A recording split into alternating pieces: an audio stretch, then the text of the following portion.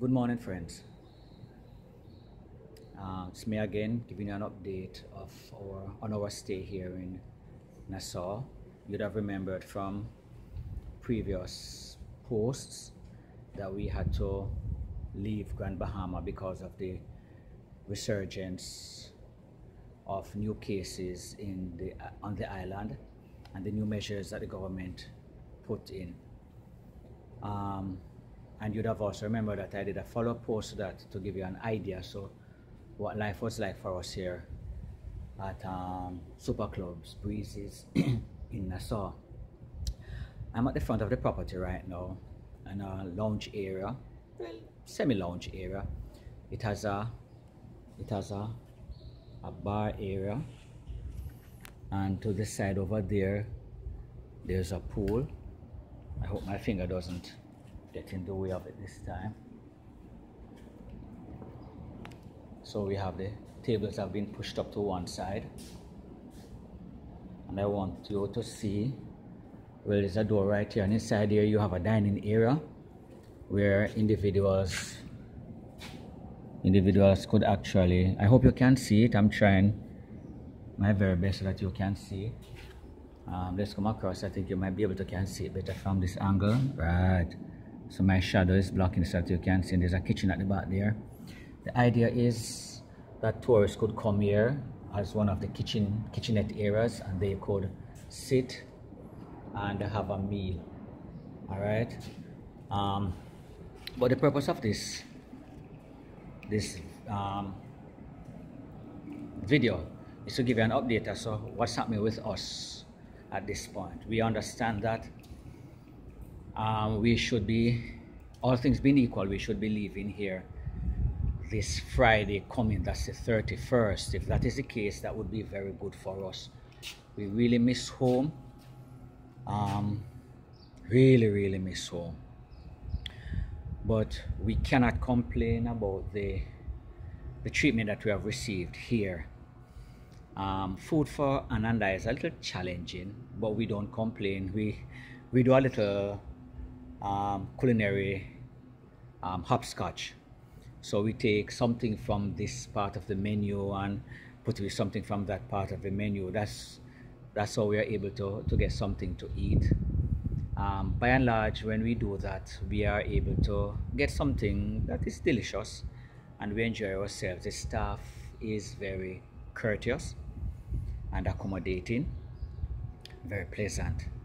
Um, and I think Breezes really earns its reputation on interpersonal relationship um, so what's happening with Anna and I now truth of the matter is that we really want to go home.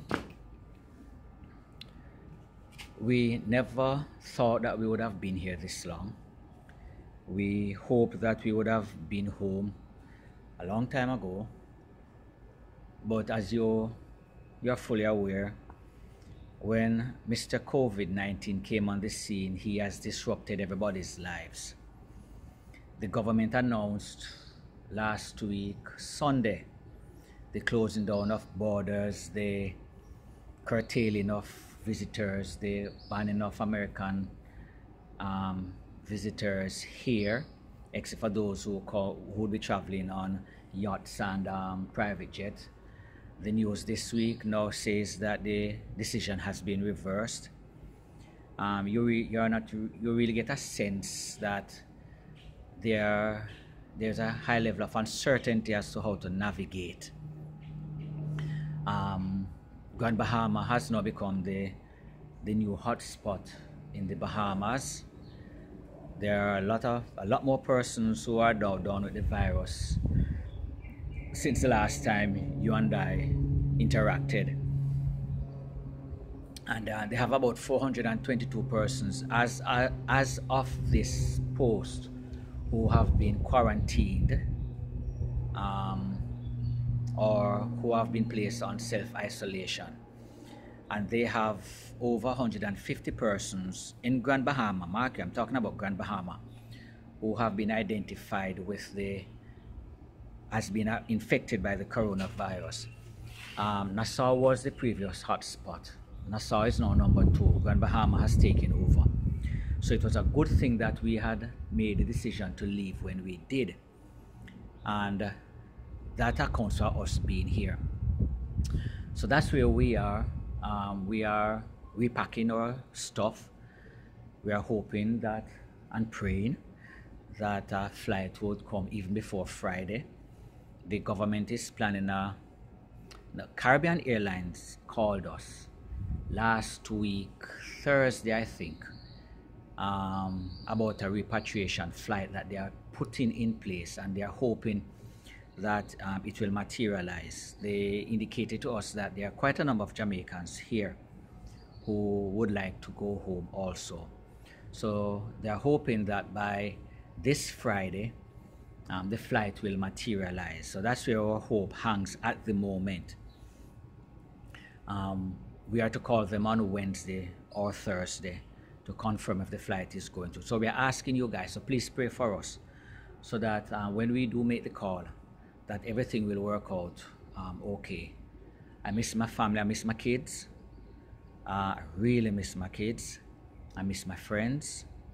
Um, the treatment is good here, as I said before, but you know, there's nothing like home, and I'm really looking forward to it. Another reason why I came here is that out, out at the frontier to do this video is that I wanted to show you um, view, some views from the front of the hotel. So I'm going to pan this way and I want to show you can you see can you see right that's one of the massive hotels that have been severely impacted. Um, I am not sure if this other little building here at the side there. That one right that, that um, right top one there. I'm not sure if that one is connected to that building. Something in my bones tell me it might be connected to the building. Maybe it's another hotel i'm not sure. But that also has also been impacted by the virus. So so tourism is getting a big hit here and that's that may be one of the reasons why the government is not to is is is backtracking i should say on um, opening up at the borders after announcing that they would have closed it to american tourists. Um, give you a view of the front of the property. So there's the front of the property. That's where I am. That's the the hotel where I presently stay. All right and uh, just to give you a view of what the front of the area looks like. It's very quiet at this time. I'm told that even during the slow season you'd have a lot of visitor here still. At this point that's what it, it is like. So that's where we are. We are hoping that we will be be out of here though. Um, we are thanking you. We thank you for your prayers. We ask you to continue to pray for us.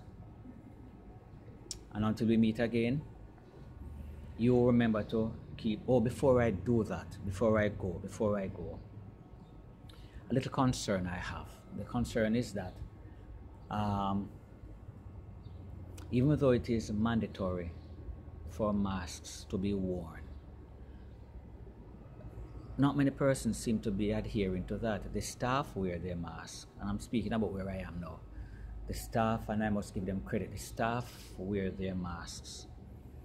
But we have some rather indisciplined visitors here and visitors here does not necessarily mean um, Americans. I'm also talking about locals. Um, it's good that the, the, the place caters for everybody. But adhering to protocols, I believe, is very, very important. And there are some persons who are adamant that they are not wearing masks. And um, I don't know why.